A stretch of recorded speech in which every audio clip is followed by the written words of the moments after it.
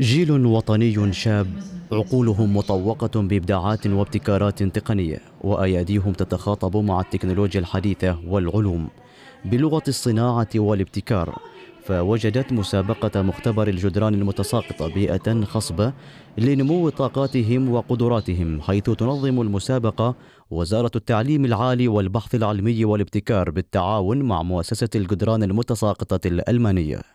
في حقيقة الفكرة من المسابقة هي إنه آه، كيف تكسر جدار مشكلة قائمة في كل المجالات المجالات الاقتصادية المجالات التقنية المجالات العلمية.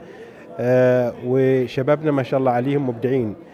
والأفضل من هذا إنه صرنا يمكن الدولة رقم اثنين على مستوى العالم في عدد الأفكار الابتكارية اللي تتنافس يعني في هذه الفعالية العالمية.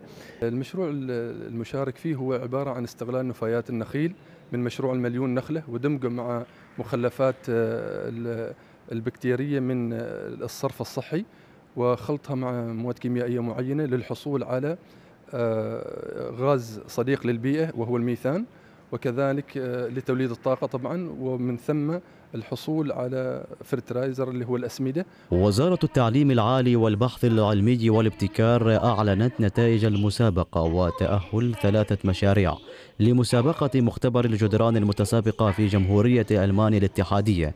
وهذه المشاريع مشروع استخدام الذكاء الاصطناعي لتشخيص الخرف في المراحل المبكرة ومشروع كسر جدران تحسين غاز الميثان. ومشروع كسر جدار الحرارة الضايعة في الخلايا الشمسية. وفكرة البرنامج هي الوصول إلى الخرف في المراحل المبكرة لأن الخرف في العادة نوصل إليه في الأوقات متأخرة لذلك آه، حياة المريض تكون أصعب. ففكرة البرنامج هي آه، الوصول إلى التشخيص في فترات مبكرة مشروعي هو تصميم جديد ينقذ حياة الناس من الغرق. آه، بيكون في يعني سنسرات أجهزة استشعارية. آه، مثلا أول شيء بنستعمل في إطلاق الشمسية مع رؤية عمان 2040 وهالجهاز مصمم يعني للجهات المختصة مثلا شرطة عمان السلطانية أو آه، اللي يشتغلون مثلا داخل البحار.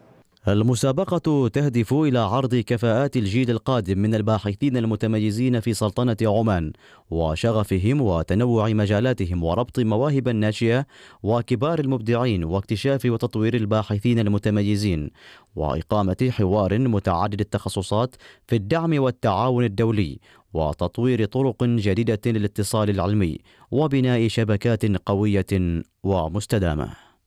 المسابقة توفر بيئة خصبة للباحثين والطلبة العمانيين لصقل مواهبهم وقدراتهم وطاقاتهم وتمكينها من خلال الأدوات المستخدمة.